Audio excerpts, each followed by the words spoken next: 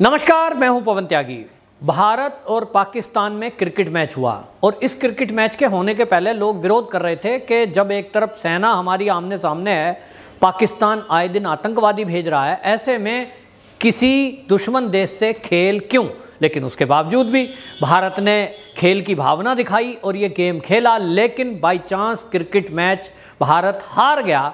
अब इस हारने को लेकर जिस तरह से भारत में प्रतिक्रिया हुई एक वर्ग ने बाकायदा पटाखे फोड़े और किसी एक मोहल्ले में तो पाकिस्तानी झंडे लहराए गए और ये सब हुआ भारत में। ये वही लोग थे जिन्होंने अंग्रेज़ों के शासन के टाइम में खिलाफत आंदोलन हुआ था तुर्की में और बलात्कार और रेप किए थे भारत में। धर्मांतरण किया, महिलाओं के साथ इतनी व्यभिचारी चीज़ें की कि और गांधी जी के नेतृत्व में ये खिलाफत आंदोलन उस समय चला था जिसका इस भारत से कोई लेना देना नहीं था। आज क्रिकेट मैच में यदि भारत हार गया और पाकिस्तान जीतता है तो इसकी खुशी भारत में क्यों मनाई जा रही है? कौन लोग हैं ये भारत में खुशी मना रहे हैं? और जिसका समर्थन पाकिस्तान में बैठे हुए पाकिस्तान के सरकारी मंत्री और मुलाजिम कर रहे हैं, वो कह रहे हैं कि जो हमारे धर्म के नाम के लोग हैं, जो हमारे इस्लाम के चाहने वाले हैं, वो पाकिस्तान की जीत के साथ भारत में भी हैं, पाकिस्तान में भी हैं। आखिरकार किसी एक खेल को लेकर इस तरह की धार्मिक भावनाओं को भड़काना, या यूँ कहें धार्मिक भावनाओं के नाम पर भारत में भी इस तरह का एक माहौल क्रिएट करना कि यदि पाकिस्तान जीतती है तो आपका और हमारा मज़हब एक है, इसलिए हम एक हो जाएँ। और ये मानसिकता हम आज से नहीं देख रहे हैं। ये जो खिलाफत आंदोलन है, ये 1919 से लेकर 1924 तक चला था और उस समय आपको ध्यान होगा तो यहाँ भारत में अंग्रेज़ों का शासन था, तुर्की में एक खलीफा हटाए जाते हैं और वो खलीफा जिस ब्रिटेन ने हटाया, गुस्सा उसके विरुद्ध था, लेकिन जो इस गुस्से में जिनके खिलाफ हिंसा हुई वो हिंदू थे। और जिस समय ये मोपला कांड हुआ भारत के अंदर उस समय गांधी जी उसका प्रतिनिधित्व कर रहे थे तो ये कहकर टाल दिया कि भाई, लोगों में गुस्सा था। लेकिन आप देखिए कि क्रिकेट का मैच होता है और क्रिकेट के मैच के दौरान दो टीमें खेलती हैं, एक जीतता है, एक हारता है तो हम हम किसके साथ हैं? हम निश्चित रूप से हमें भारत की टीम के साथ होना चाहिए। हमें भारत की जीत में अपनी जीत दिखाई देनी चाहिए। लेकिन हुआ उल्टा। यहाँ देखने में ये आया कि देश का जो दुश्मन है, देश, पाकिस्तान उसकी टीम जीतती है और पटाखे यहाँ दिल्ली के सीमापुरी में, दिल्ली के सीलमपुर में, यहाँ दिल्ली और देश के कई हिस्सों में फूटते हैं। ये खुशी पाकिस्तान का झंडा कौन लहराएगा भाई?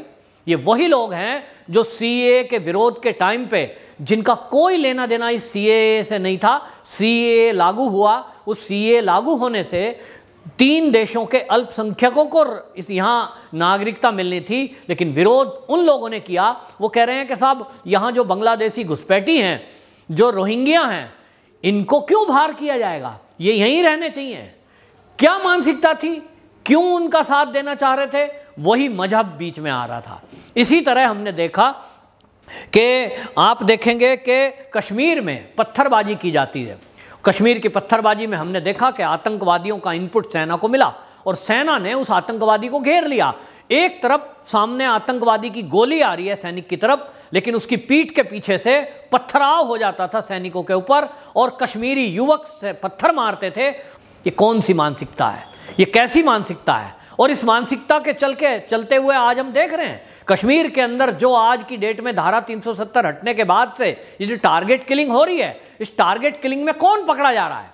गली मोहल्ले का कोई गुंडा टारगेट ओनर किलिंग पकड़ा जा रहा है? नहीं। उसी मानसिकता के लोग हैं जो मानसिकता ये कश्मीर के पार पाकिस्तान देश के दुश्मन देश से आतंकवादी चाहते हैं, वो जो चाहते हैं, यहाँ कश्मीर में बैठे हुए युवक उनकी चाह को पूरा करने के लिए बंदूक उठाते हैं, भले ही उनको खुद मौत के मुँह में जाना पड़े, क्योंकि हमारी भारत की सेना जिस तरह से एक एक आतंकवादियों को चुन चुन के मार रही है, उनके पनागारों को मार रही है, निश्चित रूप से उन्हें पता है कि हम भी मारे जाएँगे। कश्मीर की आज़ादी को लेकर देश की आज़ादी के उन्नीस सौ सैंतालीस के बाद से आज तक कश्मीर के अंदर लगभग चालीस हज़ार हमारे सैनिकों का खून बहाया गया।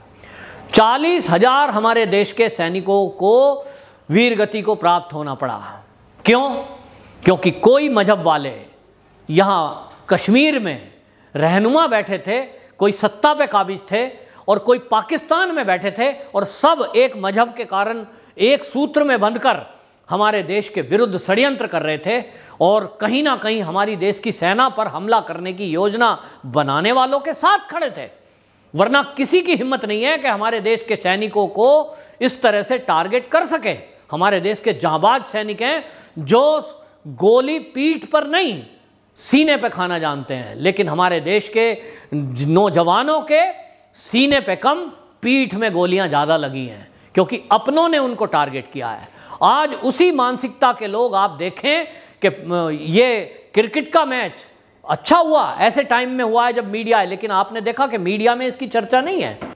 लेकिन इस देश में यहाँ हमारी टीम हार जाए और उसके खिलाफ इस तरह का, क्या आप पाकिस्तान के झंडे लहराएँगे? आप यहाँ बम फटाके फोड़ेंगे? यानी एक तरह से आप देश को और देश की कानून व्यवस्था को चुनौती दे रहे हैं, उनको चिढ़ा रहे हैं। कि आपके बस का है तो कुछ कर सकते हो तो कर लो।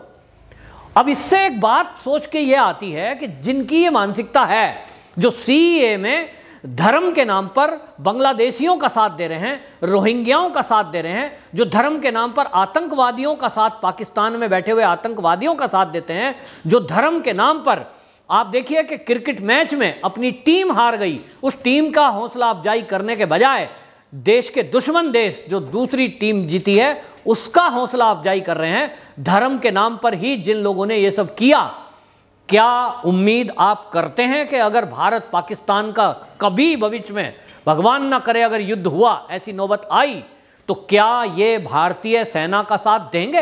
ये एक बहुत बड़ा सवाल है। अगर एक तरफ़ आप समझिए कि हमारे बॉर्डर पर सेना मुकाबला कर रही हो चीन का या पाकिस्तान का, और इनके आका अगर ये कहें कि भाई, हम तो चीन के साथ हैं, चीन हमारा दोस्त है तो हमारे साथ आइए तो आप क्या उम्मीद कर रहे हैं? इनसे क्या उम्मीद की जा सकती है? जो आज भारत में भारत में रहकर, भारत का खाकर, उनके हाथ में आज तिरंगे के बजाय पाकिस्तान का झंडा जब वो लेते हैं तो गर्व महसूस करते हैं। वो एक तरह से हमारे कानून व्यवस्था को चिढ़ा रहे हैं, वो हमारे देश की सरकार को चिढ़ा रहे हैं, वो हमें चिढ़ा रहे हैं देशभक्तों को, कि कर सकते हो तो कुछ कर लो, लेकिन इससे एक बात क्लियर हो रही है ये जो आस्तीन के सांप हैं, ये कुछ आस्तीन के सांप सीए के विरोध के नाम पे सामने आए थे, जिनके चेहरे हमने देश में पहली बार देखे। हम जिनको सोच रहे थे कि ये तो जेएनयू के प्रोफेसर हैं, ये तो ए के छात्र हैं, ये तो बहुत बड़े कलाकार हैं, ये तो बॉलीवुड फ़िल्म के कलाकार हैं। उनके चेहरे पहली बार देश ने देखे। नज़र में आया कि ये तो वो सांप के सपोले हैं जो आस्तीन में छुपे बैठे हैं और समय का इंतज़ार कर रहे थे कि कब डसें। ये तो अच्छा है कि अभी युद्ध नहीं हो रहा है। इनका पहले ही पता लग गया तो इनका फन कुचलना ज़रूरी है। आज की डेट में कई बार ऐसी घटनाएँ होती हैं जो हमारे देश में बॉर्डर पर जब युद्ध होता है बहुत सारे लोग सोशल मीडिया पर इस तरह की सरकार को घेरती हुई बातें करते हैं। मोदी जी, डायरेक्ट युद्ध क्यों नहीं कर रहे? क्यों नहीं हमारी सेना घुसकर मार देती है? सर्जिकल स्ट्राइक हुआ तो इस देश में सवाल पूछे गए। हमारी देश की सेना आमना सामना करने के लिए, युद्ध करने के लिए और पाकिस्तान से युद्ध करने के लिए। हमारे देश के पूर्व सैनिक कहते हैं, मात्र दो तीन घंटे में निर्णायक युद्ध खत्म हो जाएगा पाकिस्तान से। उसकी औकात नहीं है। हम भारत के सैनिक, हमारे देश के पाकिस्तान के दांत खट्टे कर, नेस्ता नाबूद करने के लिए दो घंटे का समय मांगते हैं, लेकिन ये जो आस्तीन के सांप बैठे हुए हैं, इनका क्या करें? जो पीठ में छुरा घोपते हैं, सैनिकों के पीठ पे पत्थर मारते हैं, इनका क्या करें? ये सीए के टाइम में कुछ निकल कर आए थे, कुछ किसान आंदोलन के नाम पर निकल कर सामने आए हैं। कुछ आपने देखा कि टारगेट किलिंग के नाम पर सामने आ रहे हैं, और अब क्रिकेट मैच में ये लोग सामने आए हैं अब देश की एक ज़रूरत ये पड़ पड़ी है, इस देश की एक ये आवश्यकता है कि जो ये आस्तीन के सांप हैं, इनको उजागर करें। खेल खिलाड़ी समझ रहे थे, आखिर इनके अंदर क्या खून में चल रहा है? ये खिलाफत आंदोलन करने वाले वही लोग हैं, वही मानसिकता है जो आज तक ये मानसिकता इस देश में पनप रही है। उन्हीं सांपों के सपोले आज इस देश में पनप रहे हैं। इनको कुचलना बहुत ज़रूरी है, वरना ये देश के लिए बहुत भयंकर खतरा बनकर खड़े हो सकते हैं। हमारे देश की जो सेना है, वो आज दुश्मन से टक्कर लेने के लिए बॉर्डर पर है। लेकिन यहाँ देश के अंदर, वो राजनीतिक के तौर पर, चाहे वो बॉलीवुड के कलाकार के तौर पर, चाहे वो कोई साहित्यकार बनकर इस तरह से अलग अलग मोखटे पहनकर हमारे ही बीच में बैठकर, हमारे ही देश की जड़ों को खोखला करने का काम कर रहे हैं, जिनके ऊपर सख्त कार्रवाई करने की ज़रूरत है। वंदे मातरम।